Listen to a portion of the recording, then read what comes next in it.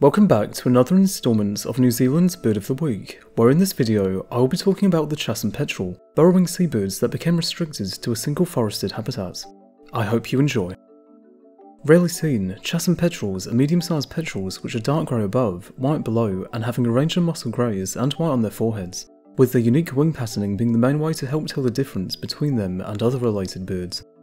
While once being widespread around the Chatham Islands, these birds faced threats throughout their range that made their existence there all the more hard.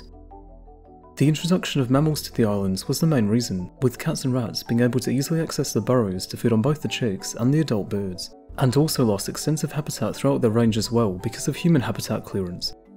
They became restricted to the small Rangatira or Southeast Island by around 1900s, and until recently was their only holdout.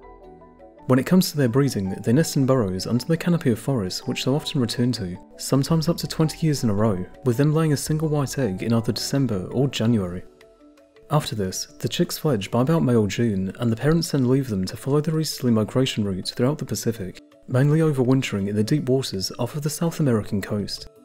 Even after farming ceased on Rangatira in the early 1950s and land predators had been removed, not to mention a great amount of forest being recovered on the roughly 218 hectare island, the birds were still declining and down to only about 30 breeding pairs in the 1980s. This was down to not predation but competition from other seabirds for nesting areas, with the comparable in size but far more numerous broad-billed prions, which nest at different times of the year, would often dig out many petrel chicks out of their burrows to lay their own eggs.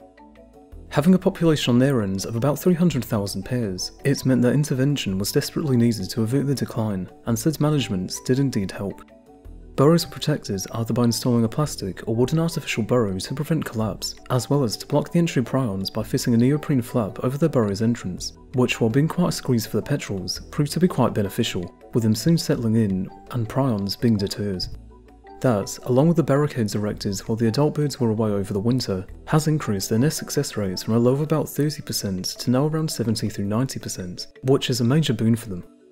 The further transfer of 200 chicks to predator-proofed areas on Pitt and the main Chatham Islands have also been going well, and the population is now around an estimated 2,000 strong, increasing since 2003 by about 100 to 150 chicks fledging annually.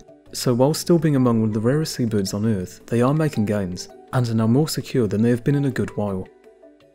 As with that, I thank you for watching this instalment of New Zealand's Bird of the Week. For next time, you're now able to vote for the black swan, swans that while being introduced also naturally colonised New Zealand around the same time. With that, I'll see you next time, whenever that may be.